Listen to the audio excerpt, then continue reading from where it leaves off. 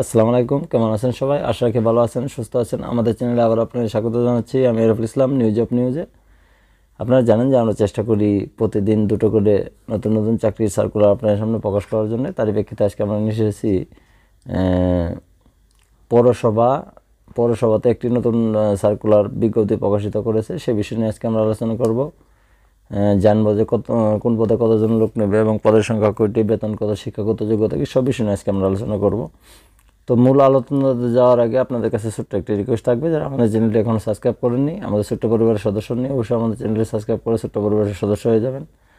আর যারা সাবস্ক্রাইব করেছেন, তাদেরকে জানাচ্ছি ভালোবাসা, কৃতজ্ঞতা ও অভিনন্দন। তো বন্ধুরা, কথা না বাড়িয়ে আমরা চলে যাচ্ছি মূল পর্বে। এখন সাভার পৌরসভা কার্যালয়, সাভার ঢাকা। এখানে সার্কুলারটি দিয়েছে বিশ মার্চ দু হাজার তেইশ তারিখে। তো যারা আবেদন করতে চান, ছয় মা যারা আবেদন করতে চান তাদেরকে জানাই যে এক নম্বর পদের নাম হচ্ছে সার্ভেয়ার বেতন ও গ্রেড হচ্ছে, বেতন হচ্ছে নয় হাজার সাতশো থেকে তেইশ হাজার চারশো নব্বই টাকা, পনেরোতম গ্রেড।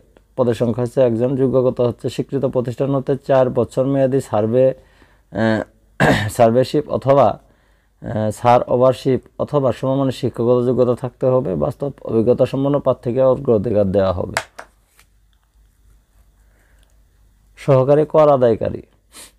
বেতন হচ্ছে নয় হাজার সাতশো থেকে তেইশ হাজার চারশত নব্বই টাকা, পনেরোতম গ্রেড। এটাও একজন নেবে, স্বীকৃত বিশ্ববিদ্যালয়ের স্নাতক ডিগ্রি থাকতে হবে। কোনো স্বীকৃত প্রতিষ্ঠান হতে কম্পিউটার প্রশিক্ষণ, কম্পিউটার টাইপিং অ্যান্ড প্রতি মিনিটে বাংলায় পঁচিশ এবং ইংরেজিতে তেইশ শব্দের গতি থাকতে হবে। ডাটা এন্ট্রি কাজের জন্য স্ট্যান্ডার্ড অ্যাপ্রোচ টেস্ট উত্তীর্ণ হতে হবে।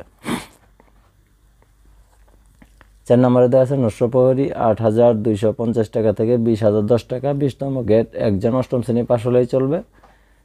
চার নম্বর দেওয়া আছে অবিসহায়ক আট হাজার দুশো পঞ্চাশ টাকা থেকে বিশ হাজার দশ টাকা, বিশতম গেট একটি অষ্টম শ্রেণি পাশ থাকলেই চলবে।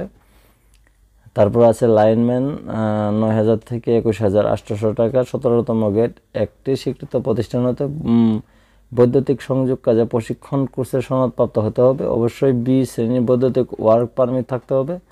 ন্যূনতম অষ্টম শ্রেণি পাস হতে হবে। ছয় নম্বর আছে বিদ্যুৎ হেল্পার আট হাজার আটশোশো থেকে একুশ হাজার তিনশো দশ টাকা। আঠারোতম গেট সংশ্লিষ্ট কাজে বাস্তব অভিজ্ঞতা সহ ন্যূনতম অষ্টম শ্রেণি পাস থাকতে হবে। সত্যাবলিতে দেওয়া আছে, আবেদনকারীকে নিম্ন স্বাক্ষরকারী, বরাবর জন্ম তারিখ স্থায়ী ও বর্তমান ঠিকানা, মোবাইল ফোন নাম্বার ইমেল যদি থাকে, উল্লেখপূর্বক, সম্পূর্ণ জীবন বৃত্তান্ত সহ পূর্ণাঙ্গ আবেদন, সকল শিক্ষাগত যোগ্যতা প্রশিক্ষণ যোগ্যতা ও অভিজ্ঞতা যদি থাকে সনদের অনুলিপি, বয়স প্রমাণের জন্য জাতীয় পরিচয়পত্র অনলাইনে জন্ম নিবন্ধন সনদের অনুলিপি ও সদর তোলা চার কপি পাসপোর্ট সাইজের রঙিন ছবি অবশ্যই প্রথম শ্রেণির গেজেটেড কর্মকর্তা কর্তৃক সত্যায়িত করে আবেদনপত্রের সাথে সংযুক্ত করে।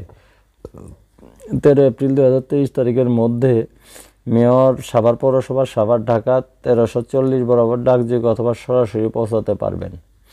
ডাকযোগেও পাঠাতে পারেন, সরাসরিও পাঠাতে পারেন।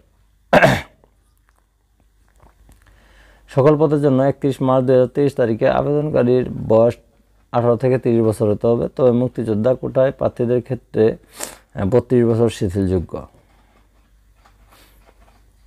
আবেদনের সাথে মেয়র সাভার পৌরসভা ঢাকা এর অনুকূলে যথাক্রমে এক ও দুই নং পদের জন্য পাঁচশো টাকা এবং তিন ও ছয় নং পোস্টের জন্য তিনশো টাকা মূল্যমানের পে অর্ডার ব্যাংডাপ ডিডি অফারের যোগ্য পত্র যোগাযোগের ঠিকানা উল্লেখপূর্বক।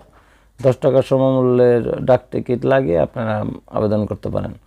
আবেদনপত্র সম্বলিত খামের উপরে অবশ্যই পদের নাম উল্লেখ করতে হবে। তো বন্ধুরা, এই ছিল সাভার পৌরসভা কার্যালয়ের নতুন একটি চাকরি সার্কুলার সে বিষয়ে আজকে আমরা আলোচনা করলাম। পরবর্তীতে এরকম ভিডিও পেতে অবশ্যই আমাদের চ্যানেলটি সাবস্ক্রাইব করে আমাদের পাশে থাকবেন। সুস্থ